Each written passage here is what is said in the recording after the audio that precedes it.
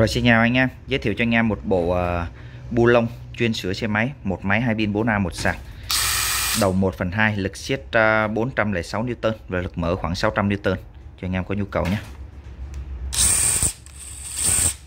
Con này thì uh, có hai cấp chỉnh lực, có auto stop và tự ngắt lực, mở đèn tắt đèn cho anh em uh, sử dụng ban ngày và ban đêm.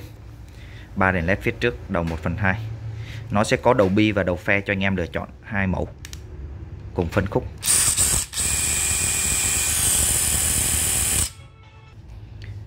Rồi, đây là full bộ của nó nha anh em. Bộ này thì hiện tại là đang giá khoảng à, 6 triệu 6 và em sẽ giảm giá cho anh em chỉ còn à, hơn 5 triệu cho anh em có nhu cầu nhé. DCF 922 hoặc anh em sẽ lựa chọn mẫu là DCF 921 hai pin 4A một sạc. Bộ này thì à, chuyên cho anh em sửa xe máy này, điện lực này và sửa máy móc à, bên à, điện cơ thì anh em có thể sử dụng nhé. 406 Newton và 600 lực mở thì anh em mở ốc nồi tay ga này kia thoải mái bánh sau tay ga thoải mái luôn rồi.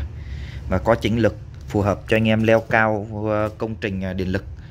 Đó, với pin 4A thì sử dụng cả ngày. Đối với anh em sửa xe máy thì thoải mái sử dụng hai pin thay đổi nhau sạc. Sạc pin thì sạc trong vòng 1 giờ là đầy. Thân máy bảo hành 3 năm pin sạc bảo hành 1 năm 111 anh em yên tâm sử dụng cho công trình nhé.